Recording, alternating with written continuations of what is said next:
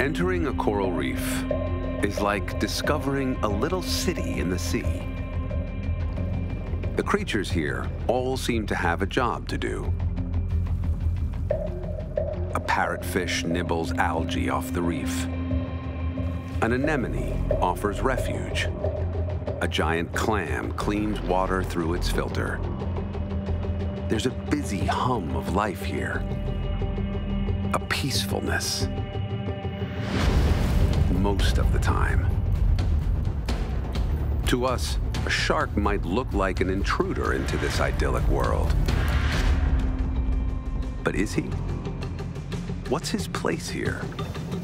And is it possible that as climate change threatens the future of coral reefs, sharks can help them survive?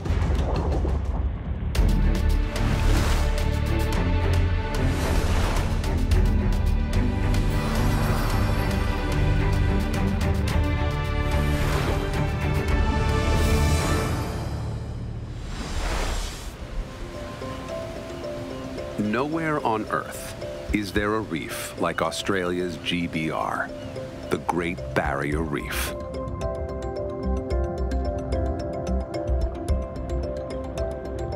It's the largest living structure on Earth. You can even see it from space. It's the size of Italy, stretching up the northeastern side of Australia for 2,300 kilometers or 1,400 miles. The reef is actually composed of 2,900 separate coral reefs with 600 different types of corals, providing homes and nurseries for an astounding variety of creatures. More than 1,600 types of fish, 133 varieties of sharks and rays,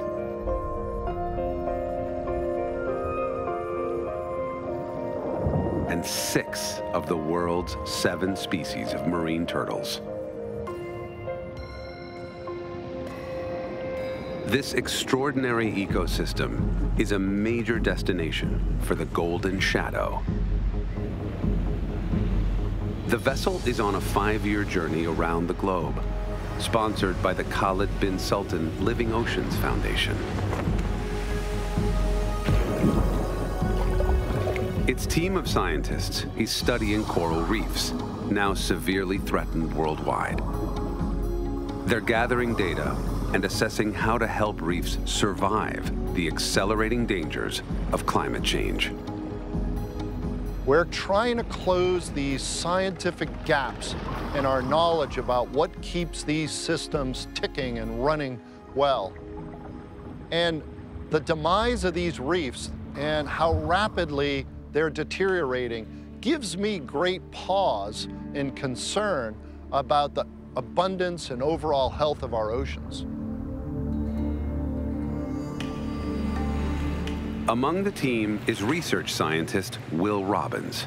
He'll focus on sharks. He's been swimming with them for more than 20 years.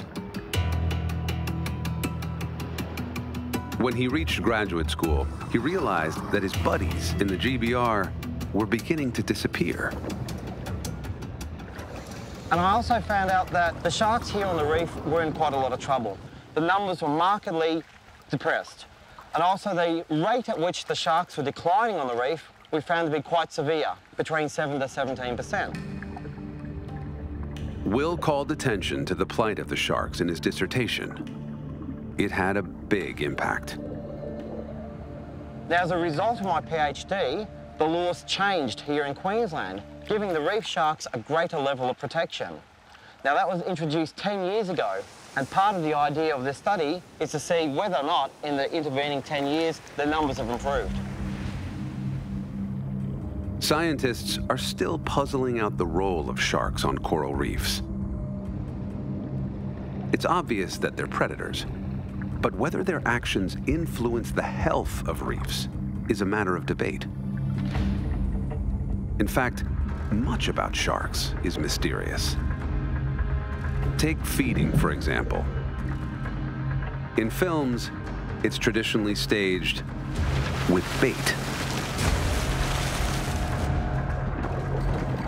Scientists had never documented natural shark feeding behaviors until recently, in a breakthrough on an earlier stop of the Golden Shadow. The Tuamotu Archipelago in French Polynesia. This place is nirvana for sharks. We have what's called reef passes. Now these are breaks in the reef where water can flow in and out. Now what makes it different from any other place is the volume and the speed that the water passes through these reef passes. It's high current, high energy. In fact, it's so fast you can't swim against it. It may be dicey for divers, but these are perfect conditions for gray reef sharks. So Will and Phil Renaud set off to explore a pass. It looks like these two passes, this southern one here and the northern one, it's the only two spots on this whole atoll that the water can get in and out. And as the fish come ploughing through in a score, the sharks are there waiting.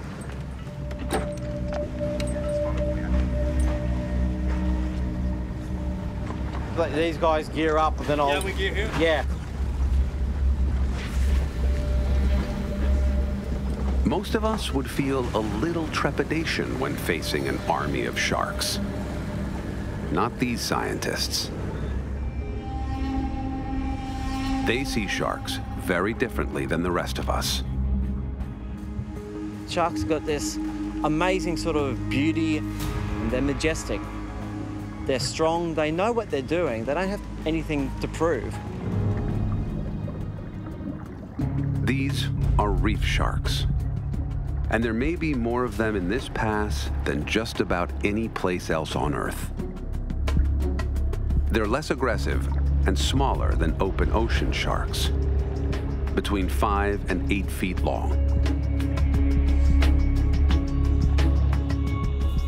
Here in the Pacific, you see black tip reef sharks, white tip reef sharks, and most common of all, gray reef sharks. This type needs to swim continuously just to keep breathing. That's why they like this path. The sharks can actually sit there in the current, have the water flow over them so they can breathe easily, and they can actually sit there and pick and choose prey they want to eat. But catching these fish isn't as easy as that sounds, despite the huge numbers here. Surprisingly, sharks don't usually have the edge. Fish are very good at avoiding sharks because they're a lot more maneuverable. They're, most of them are a lot smaller than the shark, so they can flip around and dodge out of the way of a shark. It looks like most of these sharks aren't very serious about feeding right now. The scientists will have to come back. But Will is jubilant. To drop down and see so many sharks in one hit, like I said, I've never seen any, anything close to that number of sharks in one area at one time. Once back in the harbor, Will checks out a local restaurant that he's been monitoring. The chef here, unexpectedly, has set up a little feeding frenzy under his dock. Every day, at about the same time, he throws away his fish scraps. These black-tip reef sharks, the smallest of the reef shark species, have become clued into this and they know that at a certain time of day, 11 o'clock every morning, their fish scraps will be in the water. The sharks were racing for the scraps, but there wasn't a lot of aggression between the sharks. They actually acted quite politely to each other. It's another window into how sharks feed, but the bait still isn't live. Will really wants to see sharks feeding naturally. And from what he knows about them, he thinks the best time to catch them might be after dark. And because sharks have got a whole battery of sensors that would actually help them feed during low light conditions, such as at night, we suspect that these sharks are primarily feeding at night time. Only a few members of the science team dive at night. Right, I'll need uh, someone to just pass my camera down. And they take extra precautions. It's easy to get disoriented in the pitch dark. Or the sharks could get overly excited if a school of fish swims by.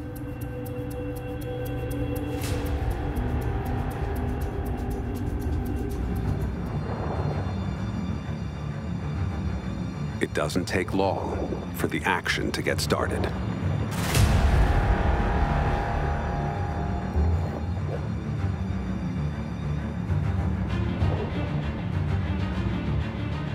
Sharks are well suited to night stalking.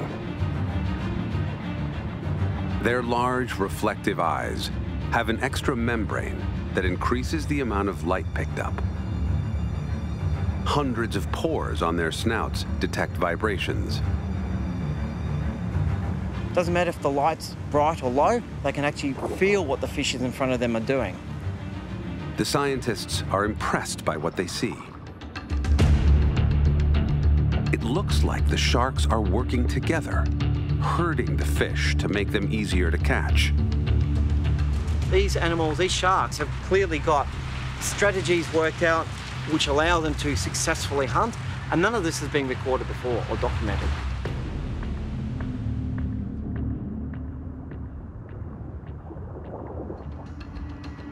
Will notices something else important. The sharks aren't zeroing in on just the big fish as you might expect. They're going after smaller fish too. We've seen reef sharks feeding on all levels of the food web.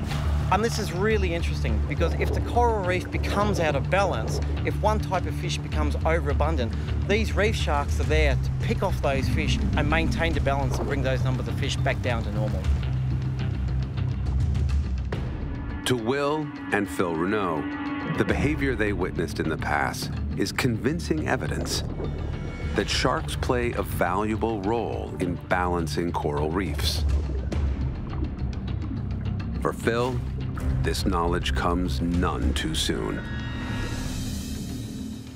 We take approximately 100 million sharks out of the ocean every single year. You, I can't even wrap my head around 100 million sharks. We've got to stop it. We've really got to be smarter about it because the damage that we're doing is really invisible right now, but it won't be because it'll become apparent in the future. During their visit to French Polynesia, the scientists came much closer to understanding the role of sharks on coral reefs. Now, as they settle into their research on the Great Barrier Reef, they're applying what they learned.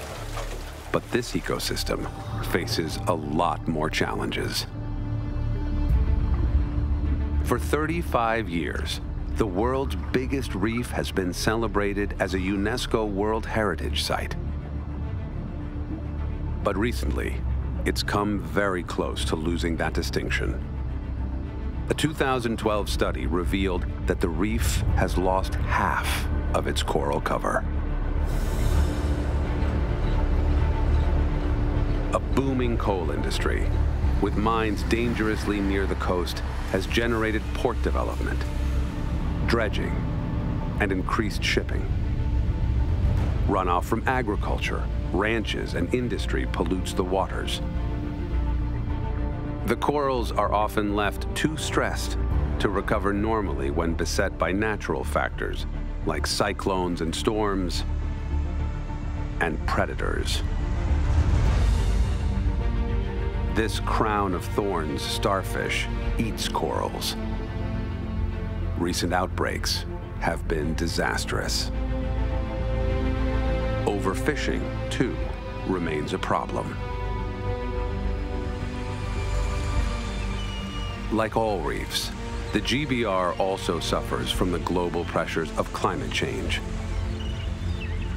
Bleaching events have occurred here several times, triggered by rising ocean temperatures. Corals that get too warm expel the algae that live within them. These algae provide them with food as well as color. So if temperatures don't drop again quickly, the corals can die. It's been 10 years since Will called attention to the diminishing number of sharks here.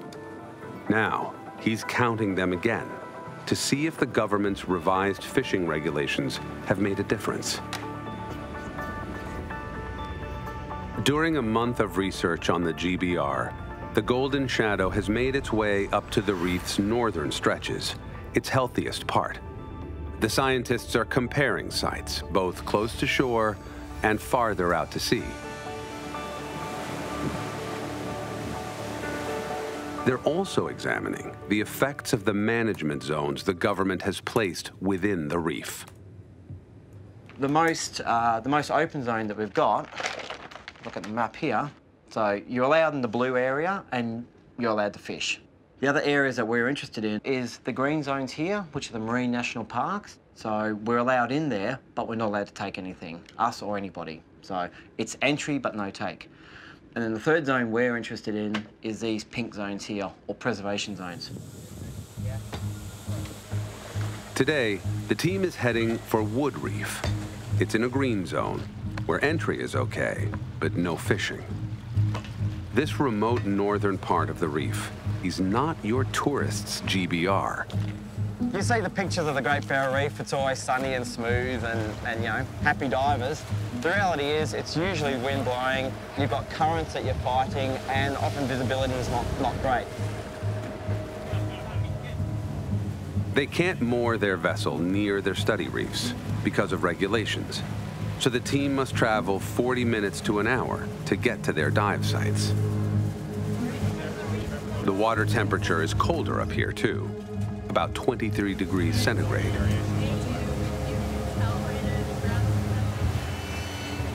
As they reach their destination, Will and his assistant Charlie separate from the rest of the team. All right. All right, well, so we'll see you after your two dogs. Okay, sounds good, mate. They're going out to the reef front, the most exposed part of a reef.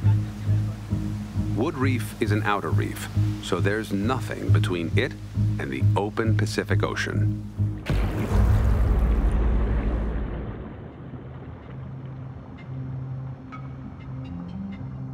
The shark team is on its own out here, and it's an impressive sight. So the outer reefs are a lot more dynamic. There are a lot more powerful waves and swells coming through. So we see a lot more activity out there with the fishes, and we also get a lot more sharks out there. The coral cover here, too, is incredibly lush, spreading in every direction. Will and Charlie's routine is to swim for 400 meters at a stretch, counting as they go. I have a counting system that allows us to swim far enough that we capture these animals in their normal swimming pattern. If we were to swim only short distances, chances are we wouldn't see a shark. So far on this trip, that hasn't been a problem. Will has been counting more sharks than he dared hope. We've done 64 dives so far, and we've counted over 230 sharks. And in addition to that, we've seen six different species of sharks. Charlie's job is to back up Will's data. I've got my dive buddy who's carrying a stereo video rig. And the idea of this is the two cameras are both recording and they're slightly offset from each other, which means we can take that video footage, synchronize the frames, and drop it into a computer program This allows Will to calculate the size of each shark they see.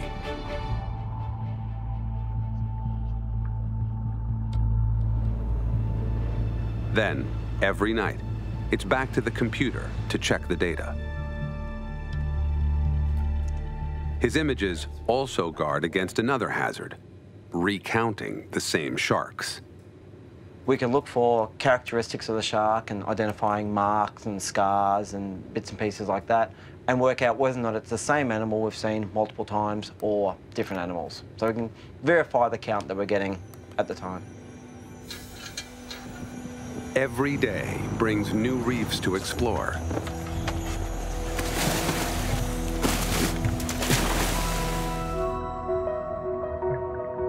As their dive tally mounts, the scientists are encouraged by what they're finding. Unlike many areas of the central and southern sections of the reef, these corals look very healthy.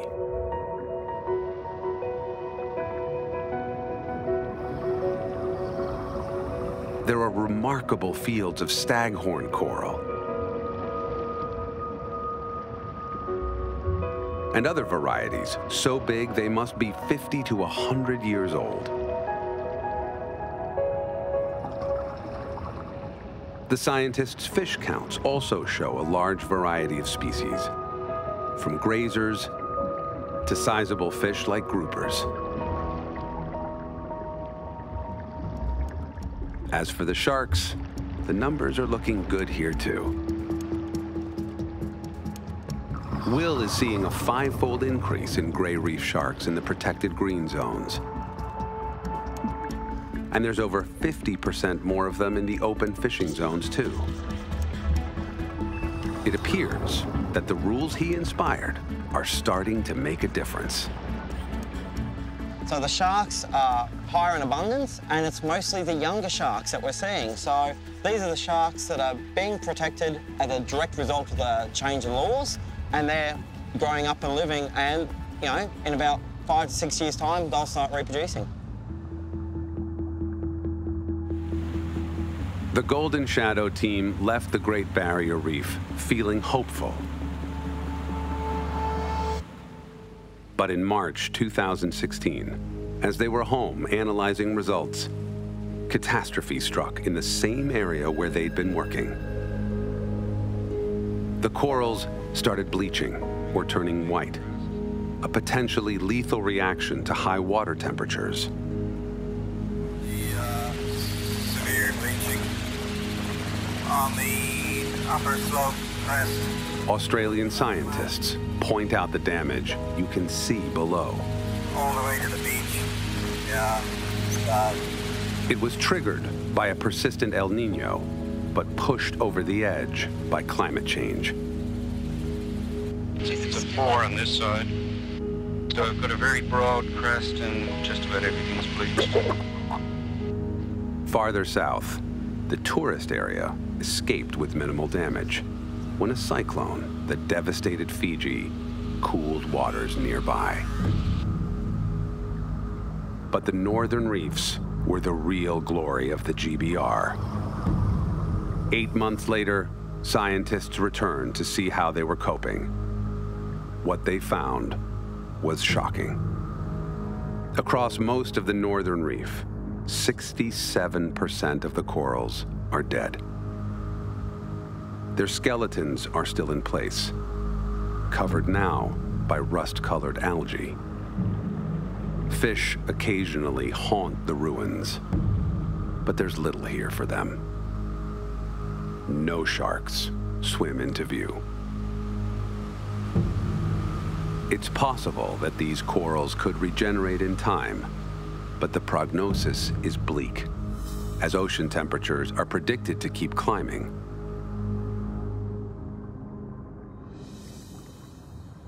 The frequency of these stress events is happening too quickly for the corals to recover. And so you go down to a certain threshold. Once it hits that threshold, there's no turning back and the coral reefs really crash and they get covered with algae.